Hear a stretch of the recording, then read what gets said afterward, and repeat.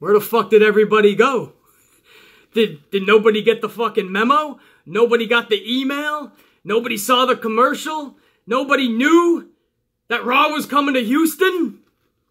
My amplified unit, much love and respect. Thank you for joining me for this Raw review and reaction. And before we get to the actual video, I just want to address that thumbnail that you see for this video. That is not photoshopped, doctored. That is a real, legit photo from a fan last night in Houston, Texas. That is not a dark match. That is not before the show. You can clearly see in the upper right corner, that's Drew McIntyre giving his promo, which is in the middle of Raw. That was Monday Night Raw's crowd last night. WWE pulled their tricks where they pulled people from the camera side and put them onto the TV side, so it looks like a packed house. But I saw several times last night when that camera panned, they couldn't even pan too much. When they panned just a little bit, you started to see empty seats. That's when you know it's bad, man. Then we see these photos. This is Houston, Texas. A hot WWE crowd, a hot wrestling crowd. And more than 25%, more than a quarter of that arena was not even sold for Monday Night Raw. You know by then they were handing out tickets, and they still could not pack that arena. And Xavier Woods, you tell me we're just complaining. You tell me it must be the holidays. You tell me it's a sign of the times. Tell me that, Xavier Woods, and I will call you one of the dumbest fucks that this world has ever seen, and not even your PhD can save you. That is showing you that nobody even wants to shell out their fucking money to come see you. So you better, you better hope and pray that they're at home on the internet buying your stupid unicorn merchandise and your stupid boxes of cereal because they're no longer showing up to see your ass. That is pathetic. And when the fans at home cannot get that fucking live, loud reaction from the crowd, because that's contagious, that rubs off on the people at home. That rubs off on us and then you start mixing in your little fucking sound noises up on the loudspeaker. You're gonna you're gonna put your own effects in there, right? Your own cheers, your own boos. That's gonna be noticeable. We saw that down in WCW. It didn't work there. It ain't gonna work here. It's only a matter of time before that 25 to 30% of the people not showing up to your arenas for your A show, supposedly, it's only a matter of time before that leaks to 35, 40%. Where does it end? 50%? Half your arena's gonna be nobody there? Drew McIntyre was speaking to nobody! But that's okay, right? It's business. We're making money elsewhere. We're getting the other country. We're getting fucking uh, Saudi Arabia's money. We're getting all these other. We're getting a big TV deal. As long as people are watching at home, when people at home start seeing all these empty seats, something's gonna click. Fuck, nobody's showing up. This shit must really suck. As much as we thought it did. It's one thing to see your ratings totally fucking dip. But to see your attendance like that, and we all made excuses at first, oh, it's just live events. Live events never draw that much. What you saw in Houston, Texas for a Monday Night Raw, just two Raws before pay-per-view, what you just saw, that was a live event crowd. But I was wrong all this time, right? The amplified man was just being negative. I was complaining. Your ratings are gone. Your attendance is gone. You are right now milking the last of the Mohicans, if you will, the last of your fan base. You dwindled your fan base down so low, but now those are the diehards or the fucking legit casuals that are in and out every week, and maybe that's why you can get away with your half-ass bullshit booking, is because it ain't the same audience every fucking week with your casuals, so that's understandable. But you milked it down to those dipshits and then your diehards, and your only bet is to milk as much money as you can out of us. And it's worked for now. But what happens as we just started seeing last week in Milwaukee and last night, especially in Houston? What happens when you hit rock bottom? What happens when you hit rock bottom? You just started it. The process has begun. I'm afraid to tell you guys, that's not actually rock bottom. It's only going to get worse. Turns out I wasn't wrong after all. Turns out I wasn't so negative. Turns out I wasn't just complaining. Turns out I was right. People are not digging this shit. People are no longer shelling out that money. I think that huge TV deal that Vince just got with Fox, I think that was the last big TV deal he's going to ever see again if he doesn't turn shit around. I promise you. That was the last TV deal they got. It's just like NASCAR. NASCAR was dying a slow death, but they still got a huge television deal. Because everyone's train of thought is now in the production business is, you know what? People are watching more at home or on their laptops or on their fucking phones. So maybe live attendance might not be where it's at. Maybe it is now at home. But they don't have to go out. So NASCAR got that big fucking deal, and what happened? For those of you that don't watch fucking or follow NASCAR, what happened was they found out quickly, no, it was dying on every fucking outlet. From the phones to the laptops to the DVR. It wasn't just they stopped showing up, but they're gonna watch on TV. No, they found that out quick. Fox is gonna find that out quick. Their audience is dwindling to nothing. But I'm the bad guy. Because I talk negatively. I wonder why. Was this show even any good? Let's get to the actual Raw review and reaction video, guys. Let's get to that actual video, which again, I filmed this maybe two hours ago, bright and early. But I had to film this little intro once I got word that what I thought originally was indeed the case. The audience didn't show up last night. They had to move everybody to pack up that camera side, which is what they usually do anyway. But to see Drew McIntyre and to see those superstars go out there and perform in front of nobody on a whole side of your arena. That's fucking sad, man. That is sad. I remember going to events years ago and the crowd would not only be there, all of them, every seat filled, every ass in a seat, as Jim Ross would say. We wouldn't just be in the seats, we would be fucking raucous. We would be loud as fuck, enjoying the fuck out of that show. I miss those days. Now you're showing up to these shows, half the arena's not even there, or soon it's gonna be half the arena's not even gonna be there, and everyone's just gonna be golf clapping. You ain't getting raucous for anything. What are you getting raucous over? A Sasha Banks Q&A? Are you getting raucous over Drew's promo? Are you getting raucous over Tamina Snuka in the main event? Are you getting loud? Are you excited? Let's get to the Raw review and reaction video, the actual video, and let's talk about this in detail.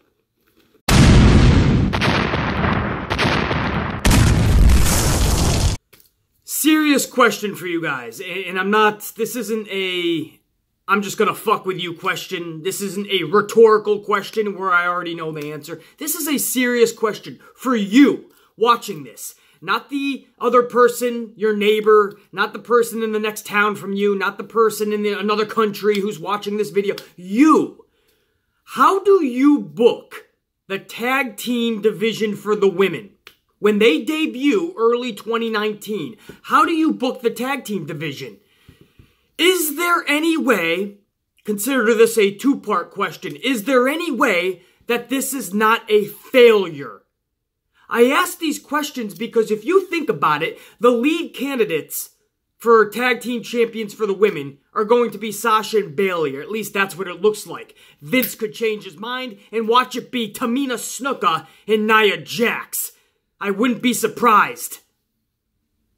But it looks like Sasha and Bayley, as much as I disagree with that decision because I think Sasha should be on her own winning singles titles, all of them, for long periods of time. But let's just say, let's play devil's advocate and say, okay, Sasha and Bayley are gonna be your champions early next year. Guys, think about it. They've already taken on every single tag team and every single female you can think of as a tag team on the roster. At least for the Raw ladies. The Riot Squad was a year long fucking feud. They've already taken on Tamina and, and fucking Nia numerous times. Mickie James and Alicia Fox seems to be the new fucking pairing they have them against. Who's going to be left when they win tag titles? You're gonna bring up a couple of NXT women over on Raw? That's cool. You'll have them face each other two, three, four, ten weeks? Then what? Do you maybe do a swap? SmackDown gets some ladies over there. So then the SmackDown ladies, now we're gonna take on Sasha and Bayley. Okay, but for how long? Three, four, ten weeks? How does this not get redundant and stale because it already is and the titles aren't even there? So do you make them dual branded? That would be the only way to fucking do this, right? It would have to be cross brand, but now you're blurring the fucking lines. If you're gonna do that with those championships, then you should just have one tag team championships as well. The men should only have one fucking tag straps, and I'd be okay with that. Because just like the women, the men's tag team division has already died. Everybody's calling it a slow death. It's dead.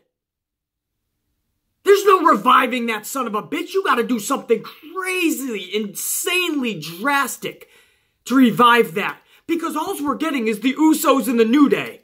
Every fucking week in every pay-per-view. And then maybe every other pay-per-view they give that a, a fucking some time off and they have the New Day take on somebody else in the Usos, but then they bring them right back together because you can't go anywhere else. All they have over there is the fucking bar.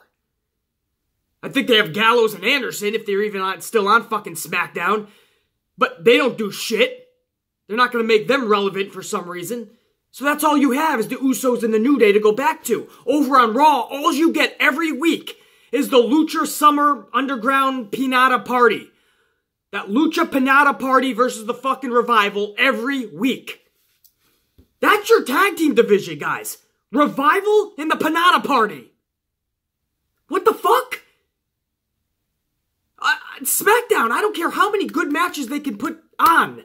How many times do we need to see Usos and New Day? How many times do we need to see the Riot Squad Sasha and Bayley or Tamina and Nia and Sasha and Bayley? Now, Mickie and Alicia. Jump them last week. Last night we have a fucking match. Next week there'll be another one. This is all before tag straps. Everybody's all excited. Oh my god, tag team titles for the women. What where does that lead us? My original question for you guys is if you're running the company, how do you do this? For the women. And make it fucking intriguing. Make it exciting, make it fun every week. You don't have a fucking answer. The best you can come up with is, oh, it's gonna have to be both brands. One tag title, Raw and SmackDown both competing, so all the females are eligible.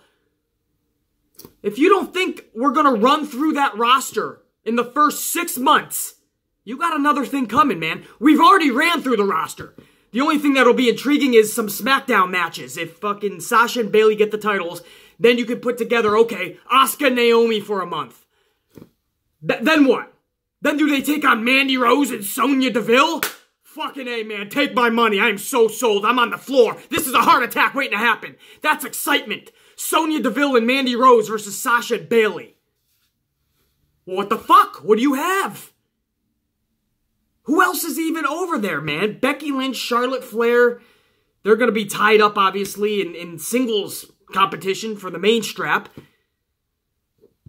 I don't know. You bring up some NXT talents, I guess.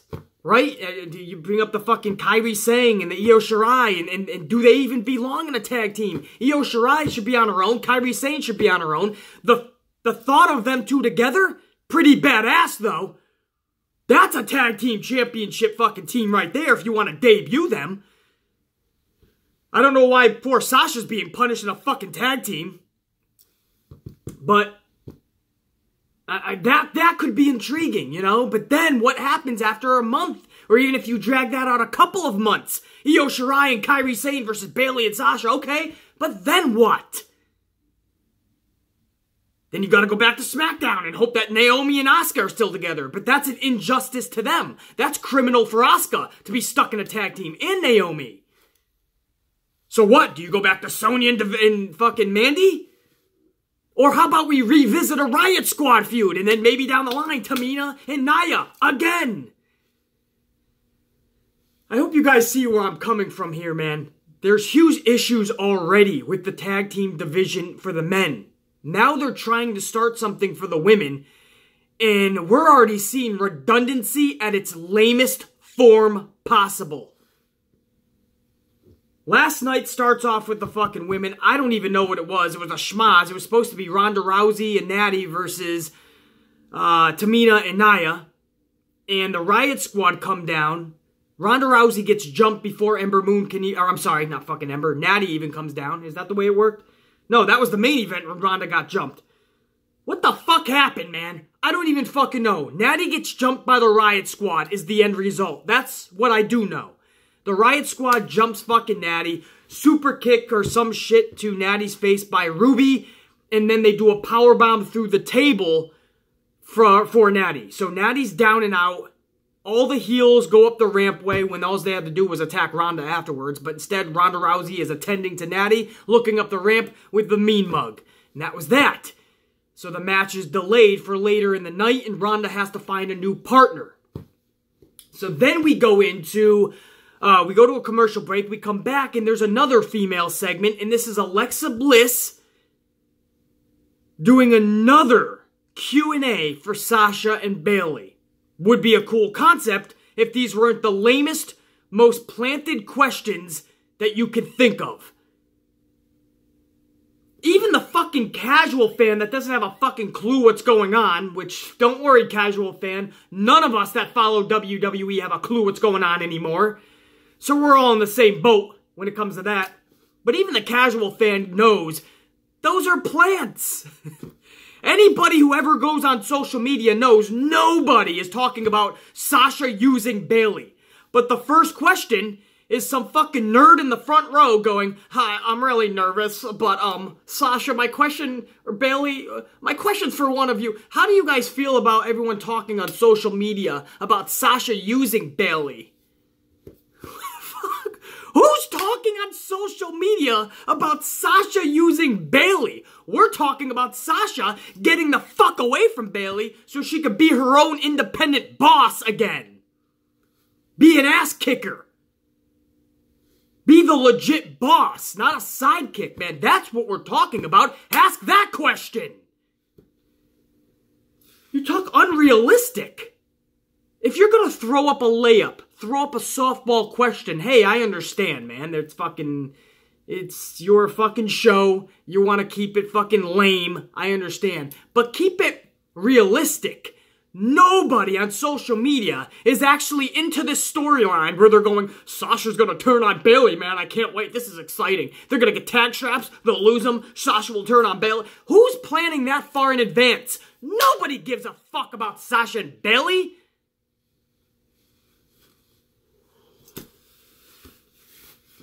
I love Sasha Banks. You guys know this. It pains me to say that. But nobody gives a fuck about this. There was a moment in this Q&A where Sasha literally goes, uh, I, I, I'm, I'm here with Bayley. There ain't no turn. And we're going to be tag team champions and we're going to be a tag team forever or something. She literally goes forever or for eternity. And I just cringed. I'm like, no. Don't say that. Don't put the dagger in us, man. Sasha Banks goes, We're going to be a tag team for life. And I'm like, Wow, man, I hope not because we actually want you to have a good career. we want you to prosper and expand and fucking do great things. We don't want you to be with your best friend in a tag team for ever. So these Q&A questions, they were just pissing me the fuck off, man. The plants, their acting is... What I know I'm extra harsh because I'm actually an actor here in New York City, right? And I fucking do a lot of act. I've done a lot of acting. I'll continue to do a lot of acting. I'm doing a fucking movie right now that one day will be finished. So maybe I'm a lot more critical when it comes to the acting performances, but evidently Houston doesn't have great fucking actors because that was traumatizing. Horrible acting. The questions were solid, solidly fucking horrendous. And the answers from Sasha and Bayley equally cringeworthy. The whole segment fell off the rails even more than last week, if you could believe that. And then fucking Dana Brooke, Mickie James, Alicia Fox, they all come down the ringside. And Alexa Bliss holds them off and goes, no, no, no, no, no, no, no. What we'll do is we'll have a match. Dana, you can stick around if you want, but Mickie and Alicia, you're going to have a tag match right now with Sasha and Bayley. So that's what we do. All of that was just to lead to Sasha and Bayley versus Mickie and Alicia Fox. Okay. Um, I can't tell you how many times Sasha Banks has defeated Alicia Fox, whether in a tag team or fucking individually, but here we go again. It didn't take long, within 5 to 10 minutes, if that, where Sasha Banks gets a backstabber into a belly to belly, and it's a 1 2 3 for Bayley and Sasha. Okay, at least Sasha gets a fucking victory. Thank goodness she's not losing the fucking Alicia Fox. But what does it do? What was the whole entire first half an hour to 45 minutes all about? They dedicated the first half an hour to 45 minutes for the females, and what did it do? The Riot Squad jumps Natty again. Okay, same storyline I've seen for two fucking months. Sasha and Bayley are in another useless fucking segment that leads to another useless fucking match. What did it accomplish? Nothing! That's a question I don't need you to answer because that's rhetorical. I have the answer. The whole first half an hour to 45 minutes issued nothing. No significance for the future. That's the truth. Hard to fucking watch. Is it? Aren't even the words for it, man. That was beyond hard to fucking watch. The whole first hour of Raw left a bad taste in my mouth. I was literally fucking frustrated that they didn't learn, learn their lessons from last week. And there's a real issue when you do not listen. Everyone likes to say, "Oh, they don't listen to the fans." Are you are you fucking naive? They don't listen to fans, man. They're making the money and this and that. That's the issue. How do you not listen to your fucking base?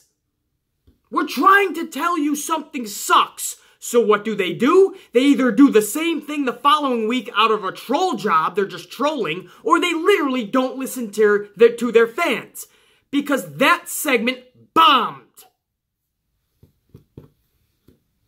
But hey, Sasha wins the match, kinda, sorta. Bayley won it. Don't worry, BC, it's leading to something cool. Tag team straps. Woo! That's when this is really gonna get exciting. Then we'll see the, the Riot Squad versus Sasha and Bayley for tag straps for the next six months. At least it's different, BC. The titles are on the line. Wow! Titles that they had to make up because they had nothing for half these fucking females. Or 90% of them. Or 99% of them. If your name ain't Alexa Bliss or Charlotte Flair, you ain't getting shit. Becky Lynch had to fucking earn that the hard way. I call that the Stone Cold way, where he literally, the Daniel Bryan way, where he literally had to get all the fans to get behind them in unison. Otherwise, Vince wasn't giving Becky Lynch the time of day. Fuck no. Becky Lynch would be in a tag team over there on SmackDown right now. I'm telling you, just like Sasha is. Now I'll get to the main event because there was a lot more to go over in Raw. Let's just get right to the fucking main event. Let's stick with the females. So because of the earlier attack on Natty, Corbin says, or Alexa Bliss, I should say, she's leading the fucking Raw women. There's a fucking joke. There's a laugh for you. Alexa Bliss says you're still going to have the fucking tag match, and Ronda has to get a partner. So Ronda Rousey finds Ember Moon. So the main event of Raw is Tamina Snuka. Can't make that shit up. Tamina Snuka is in your main event of Raw in 2018. Tamina and Nia Jax versus Ronda Rousey and Ember Moon. Okay with that match, actually. If it's, I don't know, in the middle of Raw, what the fuck? fuck does that tag match have any significance in the main event for? Nobody cares about Rousey and Jax at TLC. Not like they do Becky Lynch, Charlotte, Asuka. And you're giving us Ronda and Nia over on Raw. Like we give a fuck about Nia Jax. Her heel heat, her nuclear heel heat, that big time heel heat everybody was talking about, it's already gone. It's already gone. I tried to tell you this from the beginning. Nobody gives a fuck about useless, reckless talents like Nia. You didn't want to listen. Looks like I was right. Where'd that heel heat go? Gone. Now she's just back to being Lane Nia again, who's just reckless and careless. Wow, the Amplified Man was right again. So in your main event, you got fuck at least Ember Ember Moon. You'd say, BC, I thought you'd be happy. Ember is not only getting time, she's in the main event. Out of nowhere, with no story fucking told, Ronda just needs somebody. Last second, she picks Ember. This isn't getting me any more excited for Ember Moon's trajectory through the WWE because who's to say next week she's even on Raw? This could just be process of elimination. Who else was left? Ember was the only logical choice.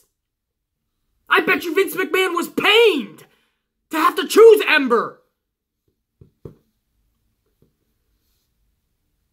So I got to see any clips. I got to see a little bit of Ember. I got to see Ember celebrate a victory, kind of. The camera was mostly focused on fucking Nia, mean grilling to Ronda because that's the TLC match. But that was your main event. There was nothing shining here. Nothing at all came across as fucking epic. I love Ronda Rousey, you guys know that, but nothing in this match screamed important. Nothing was entertaining. And again, seeing Ember in the main event would be really cool if I knew that this meant something. But next week, you're either going to see her off of Raw or losing in some insignificant, nonsensical bullshit match. 50-50 booking is what Vince is best at. I just don't see how that's your main event. What? What's the... The main event is the is the top of the line. The main thing you're looking forward to the whole night. The thing that interests you and excites you the most. The biggest cliffhanger for the following week. And it's Tamina Snuka and Nia Jax versus Ronda Rousey and a last minute partner in Ember Moon. Again, Rousey and Ember defeat Nia and Tamina, so all this building up of Nia and Tamina, by the way, Gone. They've already lost. Ronda Rousey pins, or no, taps out Tamina. So that's cool to see. That's exactly how Tamina should be being used. Exactly how she is. Useless talent. So you have her tap out. But you were just trying to build her as a beast, as much as of a joke that was. I saw the payoff now. She taps out Tamina. Tamina and Nia lose. We've already seen Ronda Rousey defeat Nia Jax. Disqualifications, this, that, you can fucking say whatever you want. She beat Nia Jax in the, in the past. I've seen all of these payoffs. Realistically, Nia Jax is not beating Ronda Rousey. If we're being believable here, if we're being realistic. So that was all the female segments last night, man. Uh, I just all over the place. I don't know what anything is for. None of it is exciting or entertaining or fun. Nothing is of interest. That's an issue. But when you look at the men's side of things, they are no better, if not worse, than the females. Where do you want to start? Uh, Drew McIntyre last night. Let's start there. Drew McIntyre actually gives another good performance on the microphone. Before I got here, everybody was complacent in the back, just collecting a paycheck, comfortable with their spot. Same thing Big Show said in a real interview just last week. That seems to be how the locker room is backstage. Everyone is just happy as fuck to be there collecting a paycheck. And you know it's true. Look at dipshit Xavier Woods. Playing video games all day, he's happy as fuck. He has his little up, up, left, right, up and down, all around channel, whatever the fuck it's called on YouTube. He's collecting that fucking side money. He's, he's giggling like a schoolgirl with all his little buddies and gals backstage. He's happy as fuck just to be somewhat relevant the last four or five years in WWE with this New Day gimmick. Because he knew he was a jobber waiting to happen. And he's got talent, by the way. I'm not dissing or bashing Woods just for no fucking reason. The guy's got talent, but he was heading toward jobber status for his entire career. They struck gold with New Day, and he's happy as fuck to be collecting a paycheck. I'm just using him as, him as an example, because I tooled on him the other fucking day as well, uh, for saying some dipshitted comments. But you could go and look at a lot of people, you know, Sasha and Bayley. I'm sure Sasha is frustrated deep down. Maybe Bayley is too. But at the beginning, I'm sure they were just happy as fuck. Uh, we're best friends traveling the world making money together. Back in the day, you had to earn your spot.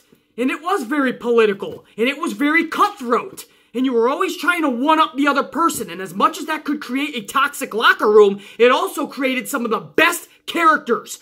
It made people raise the bar. It made them be better than they ever thought they could be.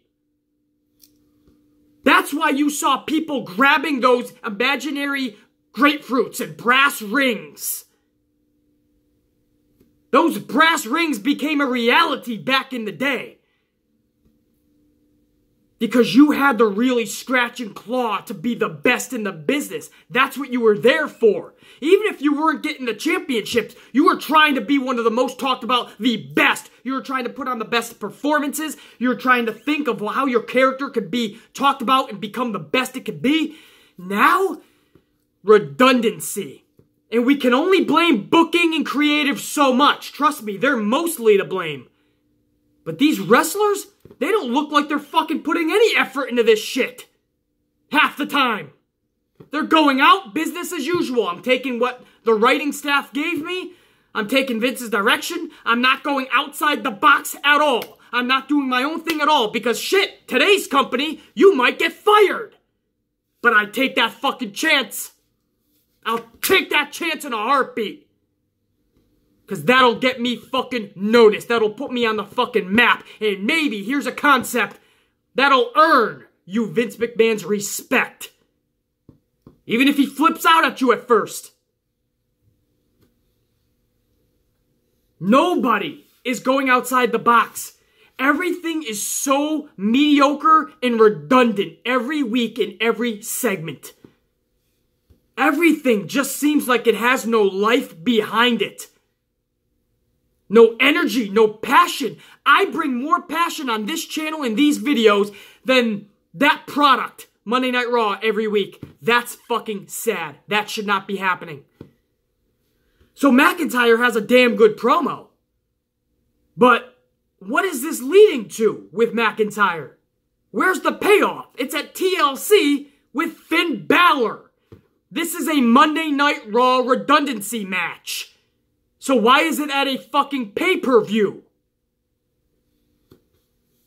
But even more confusing, they have Dolph Ziggler come out. Now they're gonna address this. Last week, they should have addressed it. And they didn't. And they just had Drew off on his own, and Dolph never fucking mentioned anything. Dolph was just oh, it's fucking taking an open challenge from Seth Rollins. And then a week later, Dolph Ziggler's like, wait a second, we're no longer together? and McIntyre's like, no. And he contradicts himself. He's like, I used you to get to the top. And I was the most fucking relevant thing in your career. and I'm like, wait, what? You used him to get to the top, so you're saying he's one of the, the big dogs, and you're going to use him to help elevate you. But then immediately you're saying you were the most relevant thing for him. So which is it? Did he help you or did you help him? So they addressed this thing, finally, by the way, because this needed to be addressed. So I'm cool with it. And somehow Dolph Ziggler ends up getting a zigzag on Drew McIntyre and he goes to take off. So I'm like, okay, maybe they save this, man. We'll see what happens next week. And maybe you do something cool with Dolph and Drew. It started off good. I like that, I guess. A week too late. But maybe you can salvage it. And no, Corbin gets on the mic and says, Dolph, you ain't going anywhere. We're having a match right now. I'm like, no, what are you doing? You just are fucking doing all of this in one fucking shot? This goes to show you they never had anything for Dolph and Drew. They threw them together with no real plan. So they ended this all in one shot and they have a fucking match. Drew and Dolph. Nothing special.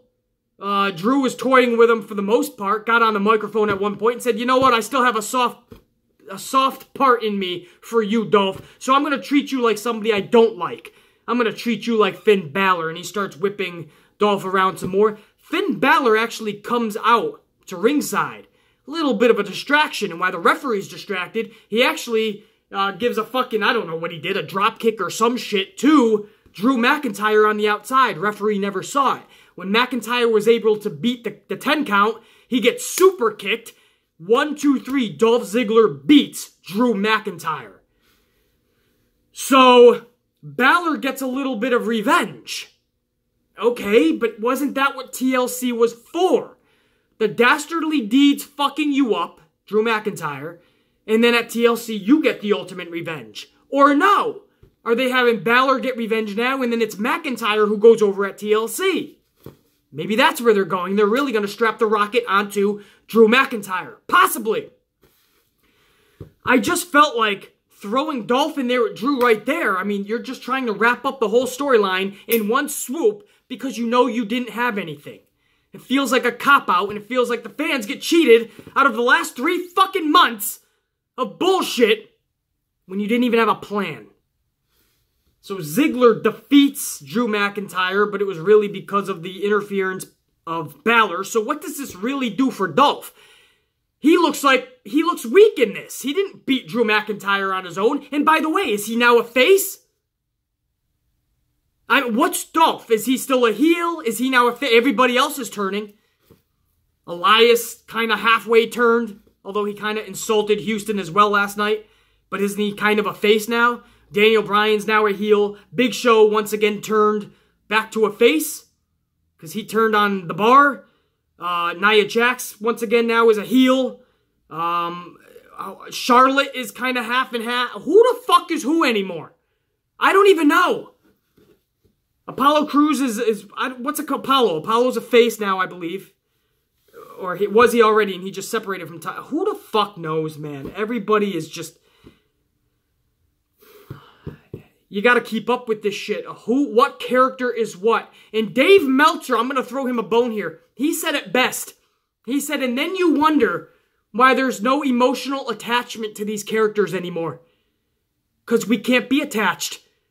They're, they're just every, they're swooping every which way because management, creative, booking, Vince McMahon, they're week to week, day by day, minute by minute. They don't know what they're doing. So if it fits their illogical bullshit every week, they're going to turn people. Just so it fits their, their, their story for that day, for that week. And then the next week, they'll change it. They'll worry about next week, next week. They don't know what they're doing long term anymore. And the people that should have turned, like the Romans, like the fucking Cenas, they stay 50-50 their entire career. Because they get noise. Here's a concept. Leave people the way they are and book them correctly. Give them awesome storylines that will develop into epic feuds that we want to see them in big spots and big matches at pay-per-views. That's how you help build the character within. No. We'll just flip them every other week and hope the crowd doesn't notice or just goes along with it. So that's the fucking McIntyre Ziggler. I don't know if that's maybe they have another match. Maybe this is the, the new match for Raw. That's another seven weeks in a row. Right through fucking Royal Rumble. We're gonna see Dolph and Drew every week, maybe. Maybe that's the new Rollins and Dolph that we used to see every single fucking week. Um, Elias, uh, he's putting on a performance. And what was it? Fucking Bobby Lashley comes down with Lio Rush. Bobby Lashley starts posing, showing his fucking ass to the world again. I, if you don't watch Raw, you just watch these reviews, this sounds silly. But that's what's happening, guys. He's just showing his ass. Elias comes down to the ring to kick his ass. uh, he's able to get the, the best of him. He throws Lashley into the LED boards. Um, I think Lio Rush went to run away, but here's Finn Balor again. So Balor is ruining everyone's parade, raining on everybody's parade. He stops Lio Rush. Lio Rush gets wailed in the back uh, by Elias's guitar. Shot her around the world. Fucking Elias, I'm sorry, fucking Lio Rush down, not moving a muscle. Lio sold that beautifully. It was a pretty damn good guitar shot. Um, Lashley was nowhere to be found to help Lio. Lashley fucking ran after he got thrown into the LED boards. Or maybe he was still fucking knocked out, but I think he ran. Uh, Balor's left with that smile. He's always smiling. He's so happy, Finn Balor. How, how do you not take him seriously? It's Finn fucking Balor. I have no big issue with that Elias segment. If you're going to have an Elias versus Lashley rematch again at TLC, I guess that's all you can do with them because you've done everything else. Um, so I'm, I'm not going to totally shit on that. I am going to shit on the match at TLC because it's another fucking redundant rematch. Um, speaking of Finn Balor, he beats uh, Jinder Mahal last night. Another match we've seen a thousand fucking times, but that's Monday Night Raw.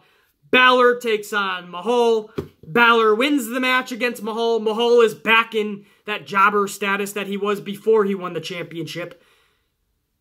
I have no idea what the fuck happened to Mahal. Um, and Finn Balor smiling again. Smiley Finn. It, my thing is, by the way, guys, go back and watch that. That crowd in Houston was on their feet excited and into it, counting the one, two, three even for Balor and Mahal.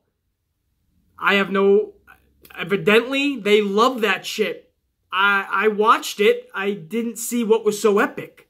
Correct me if I'm wrong down below. What did I miss in that match, guys? That the crowd was on their fucking feet. Was it because Apollo Crews came out? Apollo Crews helped Balor and took out the Singh brothers. That's what brought them to their feet? Or maybe they just really love Finn Balor, man. I have no idea. I just know that the demon character is so fucking badass. And for everyone that said, oh, but BC, man, it's a specialty character, so you can't use it all the time. Realize this, guys. This is a fact. He used that character, the demon, one time in 2018.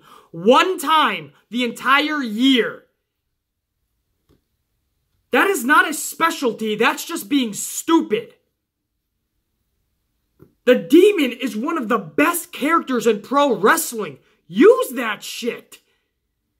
Instead, we're getting Smiley Finn. Pop collar, smiles. He's got his rainbow socks. And people fucking do love it. They're cheering the shit out of the motherfucker. No matter how mid card this motherfucker is placed in by Vince, he still gets to cheer. That's because we generally like Finn. My point is, when you make him the demon, he becomes a legit threat. He becomes relevant. We look at him as one of the top fucking guys in the business. When he was the demon, he collected the Universal Championship. When he's the demon, he's undefeated. When he's Pop Top Collar Finn, Smiley Finn, Rainbow Finn. He's 50-50 at best. What the fuck are we... How special is the... Once a year, guys? Then I don't want it to be special anymore. Let him just be the fucking demon and let's see where that goes. I bet you that'll turn into something special. I don't need to see this motherfucker once a year as the demon. He should be showing up to major pay-per-views at least as the demon. Three or four times at least as the demon. Come on, bro. Ah, what else last night, man? Is that everything, man? Heath Slater and Rhino. Corbin had them go out there, and whoever loses that match, this is a, a tag team, supposedly. We don't see them ever. Heath Slater and Rhino, and whoever wins they get to keep their job. The loser, they're fired from Raw. So Rhino looked like he was going to win in this four minute match at best. Maybe it was three minutes. Uh, but Heath Slater pulls out the victory. So Rhino is no longer a part of Raw. Does this mean he's retired? Does this mean he's just leaving Raw and going to SmackDown? Does this just mean he wants time off? Who knows? Uh, there's reports that during the commercial break he said bye like he's retiring. So we don't know. Um, Heath Slater backstage asked Corbin, hey man, is there any way we could just let Slater keep his job? Anything we can do? I'm, I'm sorry, fucking Rhino keep his job? And Corbin's like, yeah, there is something you could do. You could do your job, which is this. And he hands him a referee shirt. And Corbin laughs and says, what, you didn't think I was going to keep you around as a wrestler, right? You're useless doing that. But maybe there's a long career for you as a referee. So Heath Slater is now a referee. This could lead to something cool in the future if they're going to set something up for Heath. So we'll see, man. Or maybe Heath Slater's really going to be an official now. Who knows? Uh, that would be kind of funny. Um, what else, man? I, I don't... Gable? Gable and fucking, uh, Bobby Roode, that's what it was. Corbin tells Bobby Roode that if you could beat Drake, Drake Maverick tonight, you and Gable will get another shot at the AOP. Well, that's because there's no more fucking tag teams left.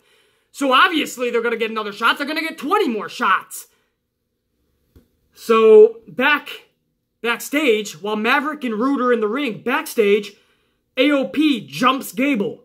And Corbin goes, you know what? I changed my mind. It's now a three on two match. Gable and Roode versus the AOP and Maverick. So I'm like, well, how do you, what? That makes zero, you just said it was one up. So AOP goes to the ring. They demolish Bobby Roode. Gable's able to come back to the ring, but to no avail. AOP keeps demolishing Gable and Roode. And there's a hot tag. it's a hot tag by Maverick. He's ready to fucking take on anyone, but Roode is already down and out. So Sp Sp Spike Dudley, fuck. Spike, Spike, what the fuck am I talking about? Drake Maverick drops on the Bobby Roode. One, two, three. And AOP and Drake Maverick defeat, or it's really Drake Maverick defeats Bobby Roode. How do you not feel bad for Bobby Roode, man? How much lower do you... And, and Gable just stuck in a tag team still getting nowhere. AOP stuck with Drake Maverick. I don't even... The tag team division, guys. And as I mentioned earlier, the Lucha Summer Panada Party. One of them was supposed to take on uh, Scott Dawson last night. And JoJo's just like, this match will be under Lucha fucking Panada Rules, or whatever it's called. Which means all three are gonna take on Scott Dawson. That's called a handicap match. That's not Lucha fucking Underground Libre Panada Rules. That's called a handicap match. And if that's the case, then why doesn't fucking Dash Wilder get in there as well? No, he's not allowed. This makes zero sense.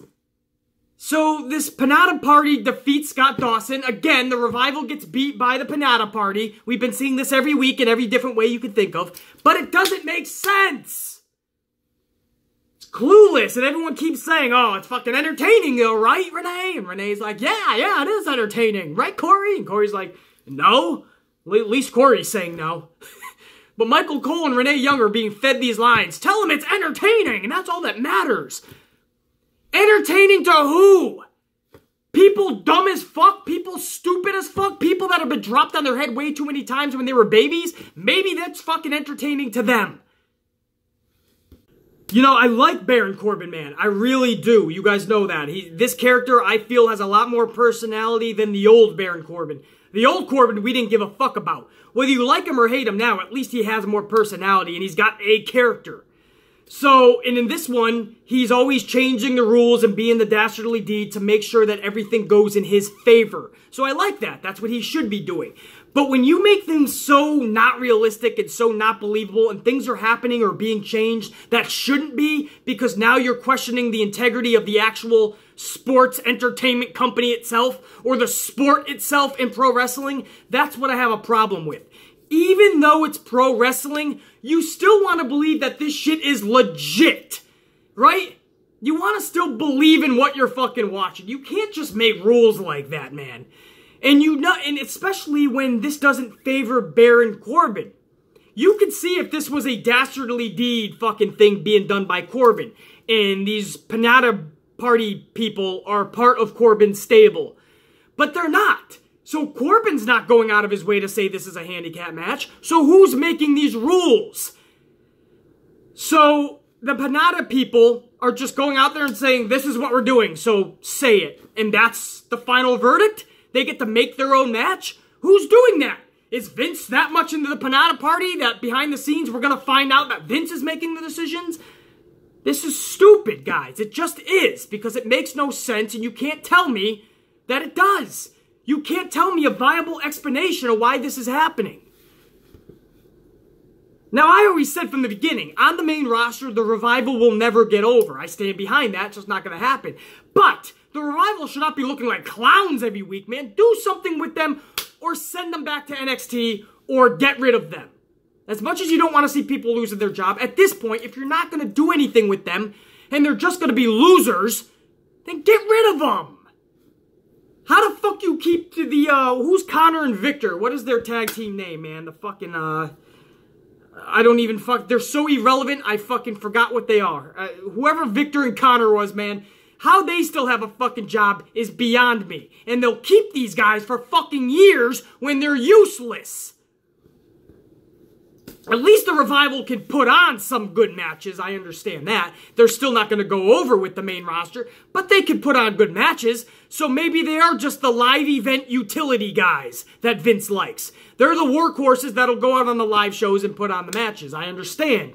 But don't make them clown out every single week to Panada people. It's fucking ridiculous.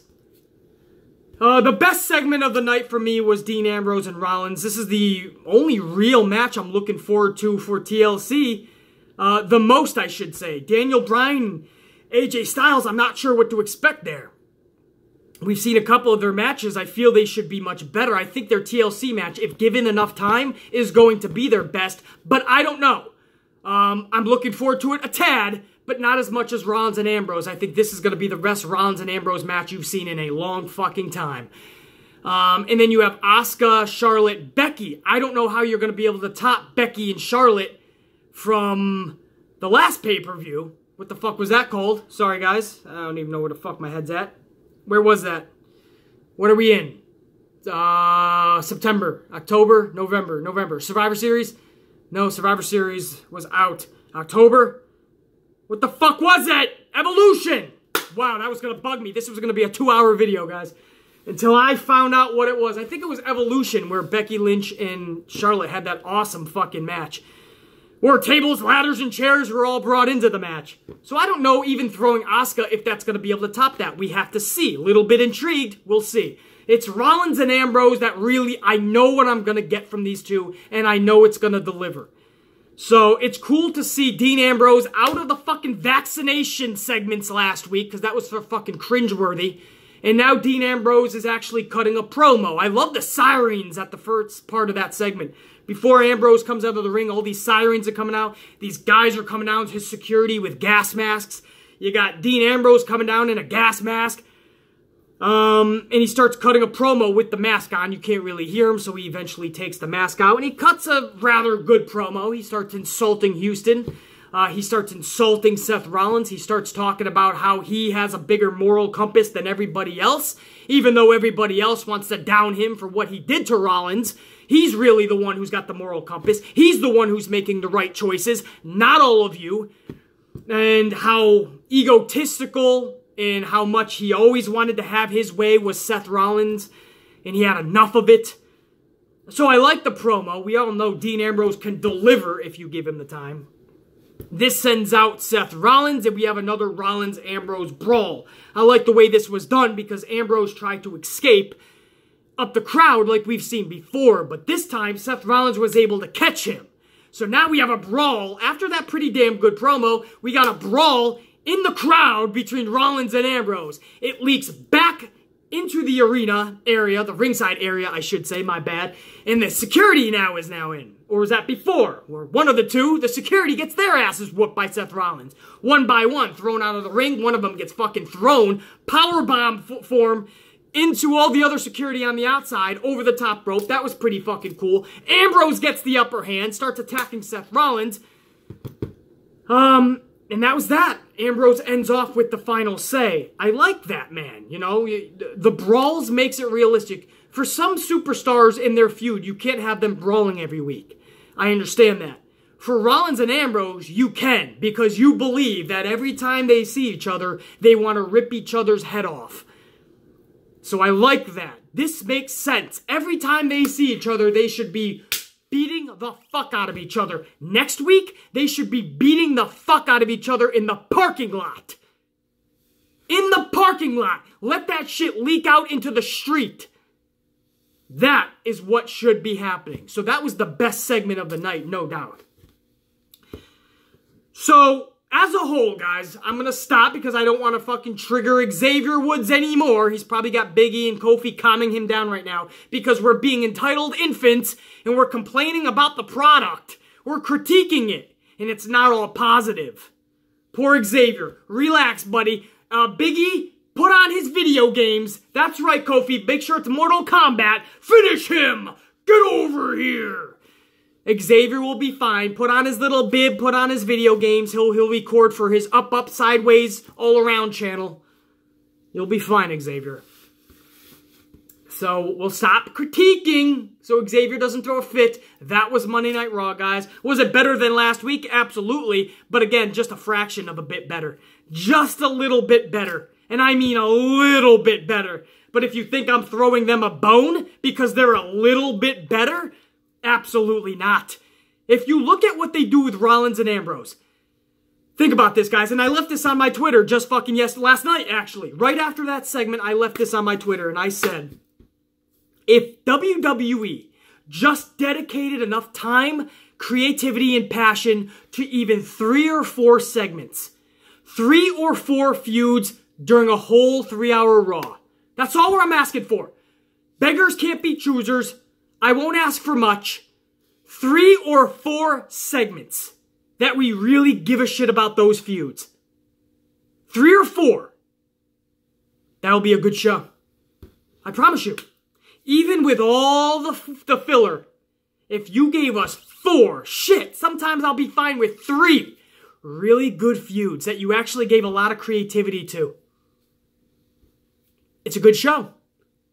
That's the problem I'm trying to tell you guys. It's not just coming on here bitching, complaining, being negative. Guys, it's that they literally, most weeks, most weeks, dedicate no segments to an epic story or feud. Last night we had one Ambrose and Rollins. What if you did that for more superstars? What if you gave more superstars really cool stories, really cool feuds? Let them build up their characters to where we invest in the character and we are emotionally attached to them. Because they're bringing out emotion. They're bringing out our fucking, our, our own passion for them, for this business. But they don't do it anymore. They don't give them the time of day to do such. Everything seems to be filler, guys. If you watch a three hour Raw television show, you know what you're getting, guys? Segment after segment after segment after segment after segment after segment. It's on to the next.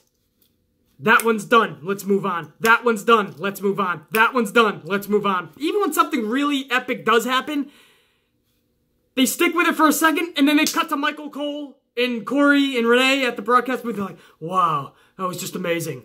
But moving on. WWE has teamed up with Susan G, and I'm like, what the fuck? Let that shit breathe. Even though you're not ending the show yet, fade the black, go to commercial. Everything is just on to the next. Everything seems like filler. And it's because most shit is just filler. There's no epic segments or epic feuds to give a shit about anymore. Ambrose and Rollins showed you that that's what they can give you if they let them go out there and give them the time of day to do such. That's all I'm asking. Three or four of those type of feuds in a whole show. But I'm asking too much. I'm an entitled infant. I'm just a fucking complainer. Fucking A, man. That was Monday Night Raw, guys. I want to give a sincere thank you to everybody that tuned into my last video. Um, it was just an impromptu video with my response to what Xavier Woods called wrestling fans that critique the product. And wrestling fans that are not always positive. Apparently, he doesn't want us to have a voice if it's negative. And it boggles his mind, and he calls us names. So I have a response for Xavier Woods. It was supposed to be an impromptu video. Um, it ended up being uh, a very successful fucking video, man. Uh, I was blown away by the response, and I knew it was going to be a hot topic. I knew a lot of content creators were not going to touch this subject because it's too controversial. They don't want to get on the bad side of Xavier Woods fans, or they don't want to really combat uh, the actual wrestlers because maybe they have a bigger fan base and they're afraid that that fan base will get on their ass. I don't know. Um, but I'm not afraid of any of that shit. I am the most controversial content creator, at least on this platform. So I knew it was my duty to make that video because I knew, nobody else was going to. And uh, I just didn't think it was going to be that successful. Um, so thank you guys so fucking much, man. That was a huge video. And again, that was just my last video that I made um, before this past weekend. And that was my response to Xavier Woods. If you didn't catch it, check it out. But judging by that response, you probably already caught it. So I just wanted to thank you guys so much because, again, that was impromptu, man. I didn't expect that type of response. Much love. Uh, right back to you guys as you've shown it to me. Uh, we'll go on to SmackDown tonight. Uh, SmackDown should be better than Raw, but that's not saying much. Um, we're headed toward TLC. So again, like I say before pay-per-views, there's no time for mulligans. SmackDown has to come out here and whack that son of a bitch out of the park a grand slam tonight. Capitalize on what Raw is doing horrible and horribly. Capitalize on that shit. I believe SmackDown will deliver tonight. At least I'm hoping so, man. But that Raw was just a minor fraction better than last week. I guess you could look at it as a step in the right direction, but who's to say Monday Night Raw isn't back even worse next week? Who's to fucking say? Because Vince and WWE has not done anything to show us that they can put together consistency. Any type of consistency with their programming. At least not in a positive light. So you want me to be more positive? How about we start with Vince and that company putting together shows I, I don't even like calling it because they're not even fucking, fucking entertaining. But how about we start with Vince and WWE putting together solid, good, doesn't even have to be great yet. Let's just start with good shows. And then people like the Amplified Man will be more positive. And I'll be in front of this camera on these videos being like Finn Balor, smiling my ass off. Maybe I'll even pop my collar a little more.